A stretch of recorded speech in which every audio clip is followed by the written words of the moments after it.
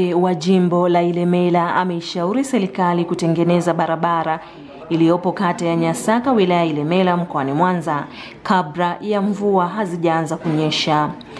Kauli hiyo ameitoa alipokuwa akikagua miradi mbalimbali iliyopo katika kata hiyo, ndipo akatoa ushauri kwa serikali kupitia Wizara ya TAMISEMI kutoa fedha za dharura kwa lengo la kukamilisha miundombinu ya barabara, kwani daraja lililojengwa lenye thamani ya shilingi milioni 68 katika mtaa wa Mwaboto bila kuwa na miundombinu imara ya barabara hiyo inakuwa haijasaidia wananchi kuepukana na adha wanayoipata.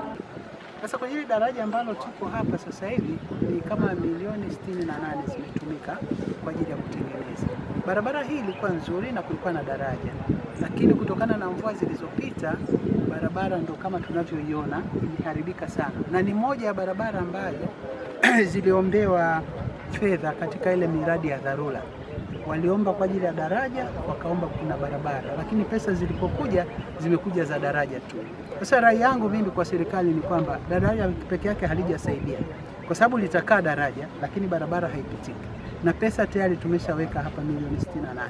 Kwa hiyo bado tunaendelea, nimeongea na injinia wa TARURA tuone namna nyingine tena ya kuweza kufuatilia kwenye wizara TAMISEMI kwa maana TARURA makao makuu, tuone zile pesa alizoomba kwa ajili ya dharura, barabara hii tengenezwe kabla mvua hazijaanza.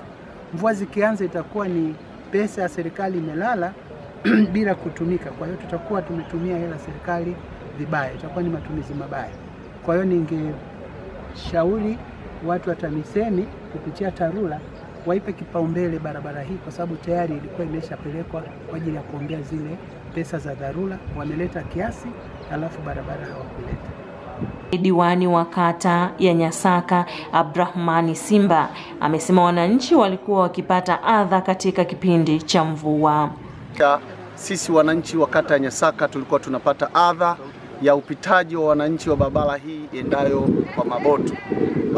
Barabara, hii wananchi wanaitumia sana na ni wengi, lakini baada ya kutokea mvua nyingi maji yalikuja akakata daraja lile, lakini baada ya kufikisha taarifa kwa mheshimiwa mbunge na mheshimiwa mbunge akalichukua jambo hili akalipeleka kwenye bajeti ya bunge, tukapata fedha za dharura ambazo ndo zimeletwa milioni 68 kwa ajili ya kupunguza adha ya wananchi wa kata ya Nyasaka wanaoishi mtaa wa Nyamuge.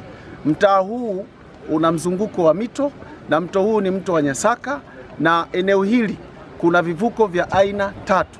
Tunamshukuru mbunge, tunamshukuru mheshimiwa rais, tunawashukuru waheshimiwa madiwani na tunashukuru wananchi wa kata ya Nyasaka ambao wametupa ushirikiano kwa namna jinsi ambavyo tunaweza kusukuma gurudumu la maendeleo. Leo tumeweza kupata madaraja mawili, moja liko pale juu na lingine ni hili hapa ambalo tunaongelea, lakini kuna changamoto zimebaki za kawaida ambazo wataalamu wa TARURA watakuja kurekebisha hapa, kisha wananchi wataendelea kupita na maisha yataendelea. Simba akaongeza kuwa katika kata hiyo imepokea zaidi ya bilioni mbili za kujenga miradi mbalimbali mbali, na hapa anafafanua zaidi. Zaidi ya bilioni mbili milioni mia tano hamsini arobaini na mbili na elfu tatu mia mbili ambazo zimekuja kwenye kata ya Nyasaka katika mchanganuo wa miradi mbalimbali. Tumepata shilingi milioni mia, mia tatu na ishirini ambazo zimetengeneza barabara ya Six Road.